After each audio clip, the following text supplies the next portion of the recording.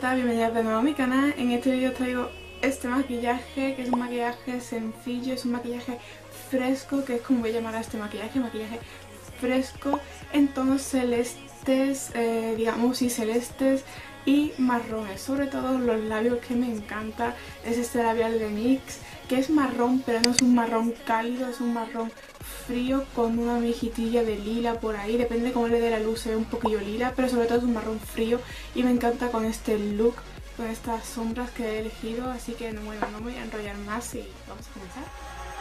Y bueno, como en todos mis vídeos, como en todos mis tutoriales, que yo creo que ya me repito demasiado, pero bueno, os digo que ya empiezo con la cara preparada, porque cada uno se prepara la cara como le da la gana. Y bueno, ahora sí vamos con el tema que nos interesa, que es los ojos, y empiezo por esta prebase de Avon.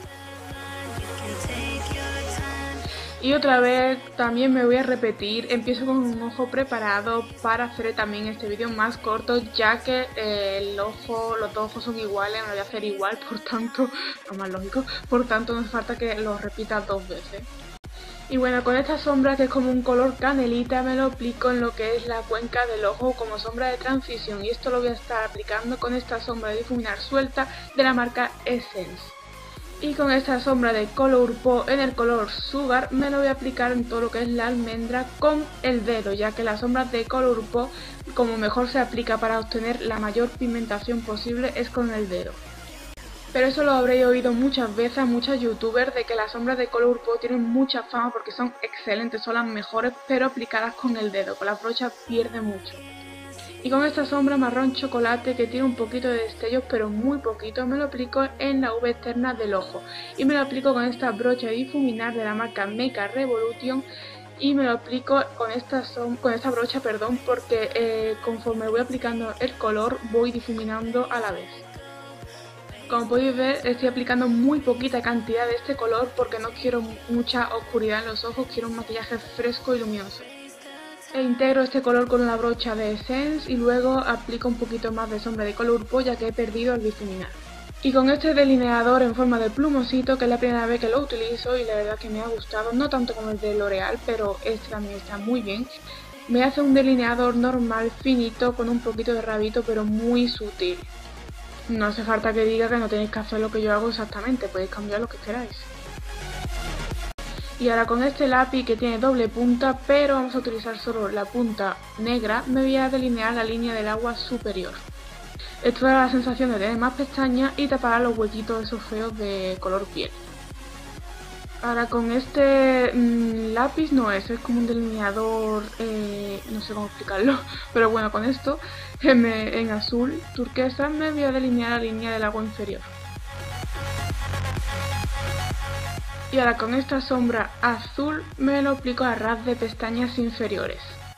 Difuminando un poquito y deciros que podéis utilizar también la sombra que utilicemos arriba, azul de color pop, yo quisiera otro toque de azul. Y con esta sombra blanca con brillo, con mucho brillo, me lo voy a aplicar en el lágrima y esto hará que el ojo parezca más sano, como más despierto, más abierto, no sé, este toque parece una tontería pero da un toque diferente al maquillaje. Y con este rímel que también es nuevo, de hecho lo enseñé en el último haul, me lo aplico en las pestañas superiores e inferiores. Y como siempre digo, podéis utilizar pestañas postizas, yo para este look utilizaría unas pestañas postizas estilo natural.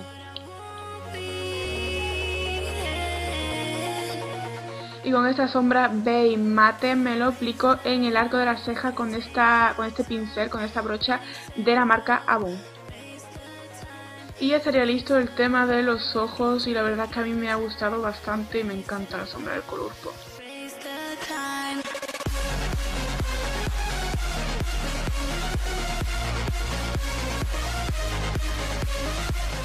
Y ahora vamos con los labios y voy a utilizar este labial que bueno ya habéis visto en mis redes sociales si me seguís que se ha convertido en uno de mis labiales favoritos porque, me repito mucho pero lo vuelvo a decir, porque no es el típico marrón cálido sino es un marrón frío y es muy difícil de encontrar. O por lo menos yo no lo he encontrado hasta ahora. Y bueno, ya estaría listo el maquillaje completo.